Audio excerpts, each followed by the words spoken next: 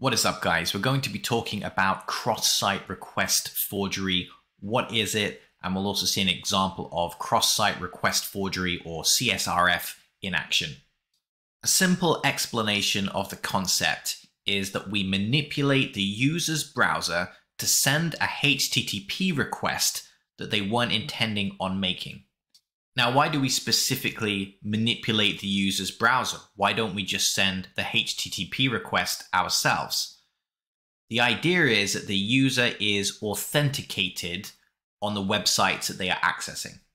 So when the user's browser sends a HTTP request to a certain site or service, automatically included with that request will be session verification information such as a cookie, for example. So we don't need to know that session information if we can manipulate the user's browser into automatically sending that for us with whichever HTTP request we manipulate the user's browser into making. That's a basic concept. Let's take a look at an example. This is a cross-site request forgery lab. The objective is to use a CSRF attack to change the user's email address. So let's access the lab and take a look. So we have our lab on the right and we are proxying traffic through Burp Suite on the left. Let's start by visiting the My Account section and we're going to be greeted with a login box. Now we're given a username and password so we can log into the user account. And you might think, well, what's the point if we already know the username and password? To demonstrate the CSRF concept, we're going to have to play two roles here. So on the one hand, we're going to be pretending to be a vulnerable user, and on the other hand, we're going to pretend to be a penetration tester checking the security of the web app. So let's log in as our user, and we can see it's a very simple interface. We just have my account, and we have our email address, and the ability to change our email address. Now let's just pretend as a legitimate user, we want to change our email address. So we'll call it wiener at newemail.net. We'll update the email. We'll have a look at the subsequent HTTP request that's being made here. So we can see a post request to my account change email and included in that HTTP post request is a cookie. And we can see our session value here. This is what determines that the user is legitimate and authenticated. Now the user has access to that information. The browser is going to send that cookie information along with every HTTP request to the web app. But obviously we as the hacker have no idea what the session ID is. This is what protects the user, at least in general. So it's hopefully clear that we can't just send our own HTTP request to this endpoint because we don't have the session information. What we can do is try and trick the user's browser into sending this HTTP request, obviously with our own email param, basically hijacking the account. And that request is going to be treated as legitimate because the user's browser is automatically going to attach the session cookie. Question is, how do we manipulate the user's browser into sending a HTTP request? So the idea here is that we want the user to visit a site that's controlled by us. Because anytime the user visits one of our websites, we can cause the browser to execute a HTTP request using a HTML form. Let's just go over the HTML very quickly. So we have a form we have method, which is post, which is what we need in this case in order to communicate with that endpoint. We then have the URL. Now this is incorrect at the moment. That's because it changes with the lab. So we're going to update this before we pretend our user is going to visit this site. But notice the end of the URL, which is most important here. So the endpoint is at my account change email. So as soon as the user's browser visits this page, it's going to think about making a post request to this endpoint. And we can also include information as part of this form.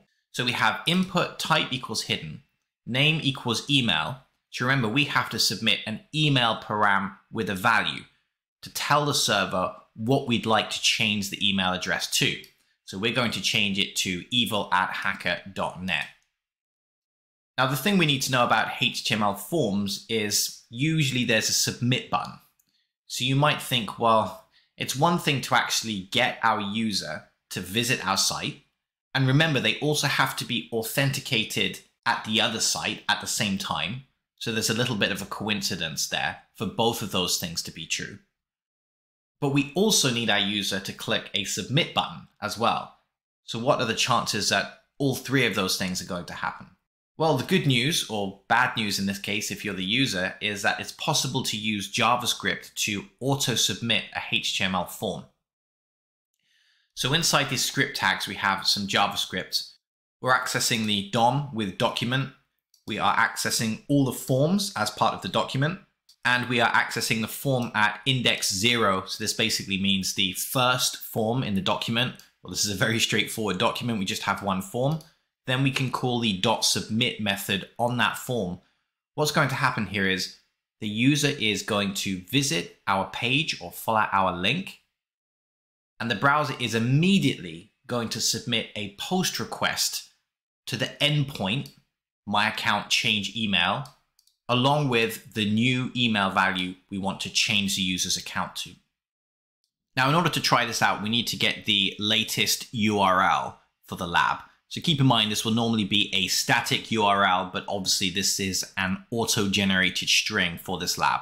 So we're going to copy this URL and we're going to paste it in the action attribute, which basically says where the form data is going to be posted to. And we simply need to tag the change email on the end here, which is the endpoint that we are targeting. So we'll save this.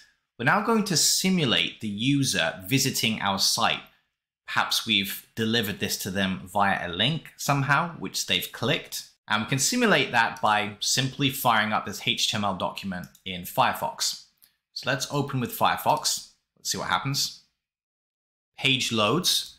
Notice immediately that we see that the user's email has been changed to evil at hacker.net. We've essentially taken over the account with this cross-site request forgery attack. Now, if we take a quick look in Burp Suite, we can see the original legitimate request to change the email to wiener at newemail.net. See the session cookie attached here. And further down, we see the illegitimate request. Same cookie, this time submitted unintentionally from the user's browser, which changes the email to evil at hacker.net. Now, in this particular case, we don't get a message telling us we have solved the lab.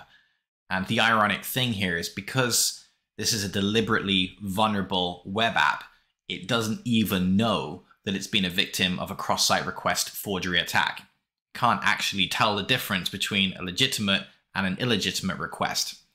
So in order to actually solve this lab, you can follow this link to go to the exploit server and it wants us to paste in our HTML.